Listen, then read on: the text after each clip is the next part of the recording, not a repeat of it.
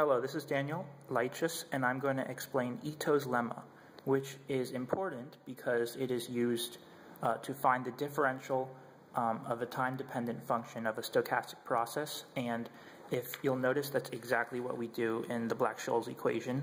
Um, there's a stochastic process, which is the randomness of uh, distributions of stocks. Returns.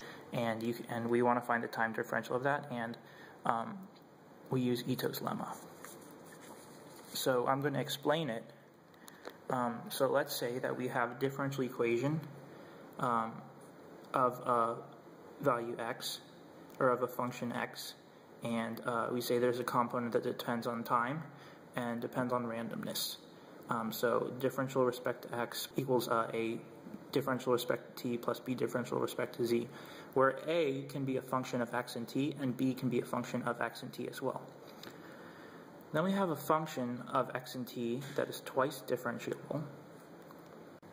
So because of that, we can use our Taylor expansion to expand the differential of our function of x and t, which would be the partial of f with respect to t dt plus the partial of f with respect to x dx um, plus 1 half the second partial of f with respect to x dx squared plus 1 half the second partial of f with respect to t dt squared um, and then you'll have two 1 halves f uh, with respect to t and x dt dx and because there's two of them we'll combine them and just make one.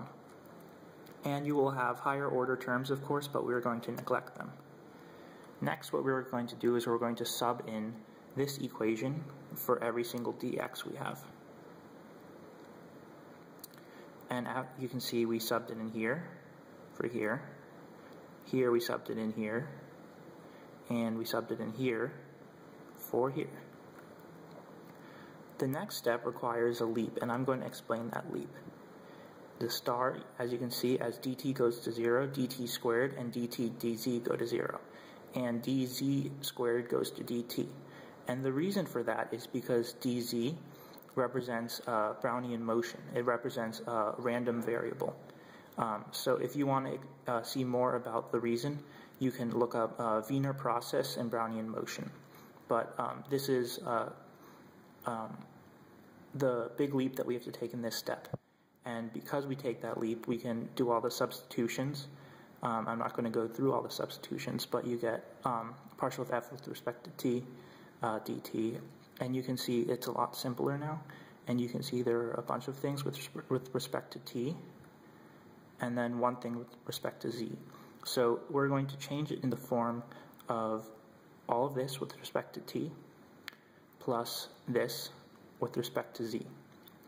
And as you can see, the differential of f, which is a function of x and t, is now has a deterministic component, which uh, is dependent on time, and it has a stochastic component, which is dependent upon um, randomness, where the z represents randomness. Now, uh, to use this to, to put this into the Black-Scholes equation, um, you can see we have the uh, where v is um, the value of a stock, and uh, uh, we will claim that um, the differential of value of a stock it's um, going to be related to something that's related to the time, um, and it's going to be related uh, to um, the mean return of the stock, and finally we're going to relate it to something that's uh, a random variable, and that's related to um, the price of the stock and also the um, ran the um, volatility of the stock. So we can see down here we have a, um, a, similar form to this. So we're going to make these substitutions.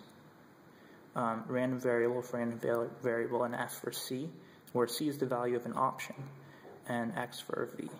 And we get this formula right here, which is what we will use to um, solve the Black-Scholes equation, or to derive the Black-Scholes equation.